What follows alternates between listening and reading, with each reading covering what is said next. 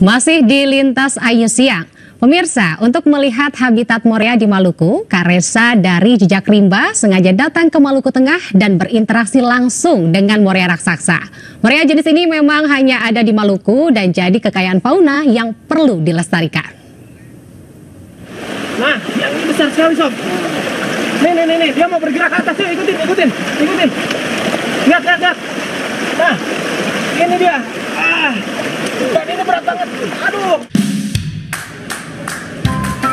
Kali ini Kak Resa berada di Kabupaten Maluku, Desa Larike.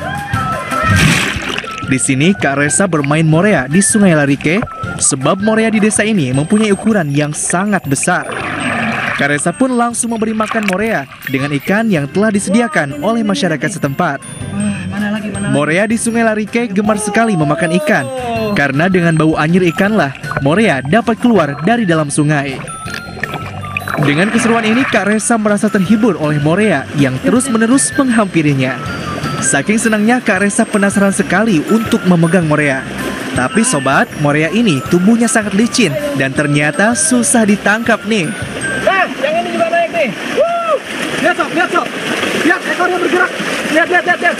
Wah, luar biasa. Wow, dia terus bergerak. Wah. Hebat, hebat, Nah sobat, untuk melihat keseruan Kak Resa bermain Morea di Maluku Tengah, ayo tonton Jejak Rimba Minggu 14 Januari 2018 pukul 04.45 waktu Indonesia